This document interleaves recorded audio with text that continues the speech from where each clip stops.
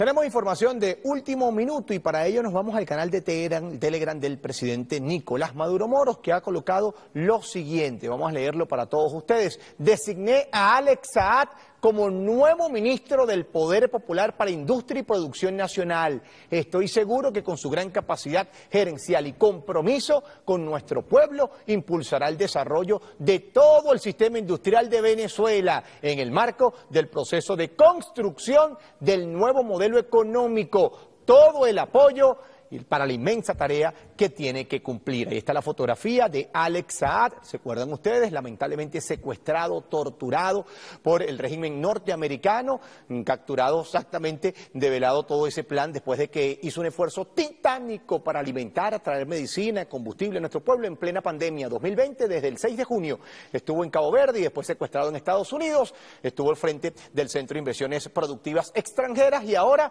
nuevo ministro de Producción Nacional el mayor de los éxitos para Alex Saad.